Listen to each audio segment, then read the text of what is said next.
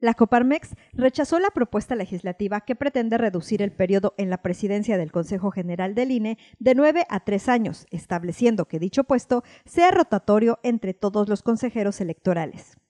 El presidente de Coparmex Quintana Roo, Adrián López Sánchez, expresó que dicha propuesta presentada en la Cámara de Diputados no solo vulnera la autonomía e independencia del INE, sino que compromete la estabilidad del instituto y de todo el sistema democrático mexicano democracia, la estabilidad de sus autoridades electorales es la condición más deseable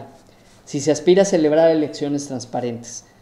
participativas y equitativas. Por ello, resulta sumamente preocupante la propuesta legislativa a ser presentada en la Cámara de Diputados con la que se pretende reducir el periodo de la presidencia del Consejo General del INE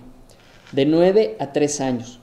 estableciendo que dicho puesto sea rotatorio entre todos los consejeros electorales, es decir, cambiar de consejero presidente cada tres años. Aseguró que la evolución del IFE y su modernización a través de diversas reformas legales ha permitido que el hoy Instituto Nacional Electoral sea un órgano autónomo y eficiente que brinda certeza y da confianza en los comicios electorales. Hay una materia en la que México ha avanzado en las últimas décadas, es en el fortalecimiento de su democracia.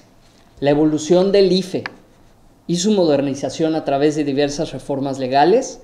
ha permitido que el hoy Instituto Nacional Electoral sea un órgano autónomo y eficiente, que brinda certeza y dé confianza a los comicios electorales. Sin embargo, la estabilidad de la máxima autoridad electoral no siempre ha estado garantizada. Solo basta recordar la crisis postelectoral del 2006 y el cierre de avenidas en la Ciudad de México por parte del entonces candidato presidencial Andrés Manuel López Obrador, el clima de incertidumbre y de confrontación política derivó en la salida y renovación forzosa de algunos consejeros electorales, incluyendo a su presidente, abriendo un capítulo de inestabilidad y desconfianza en el instituto por lo que hizo un llamado enérgico a los diputados federales a desechar cualquier propuesta legislativa que atente contra la democracia mexicana. Con imágenes de Joel Paul, informó para Notivisión Soraya Huitrón.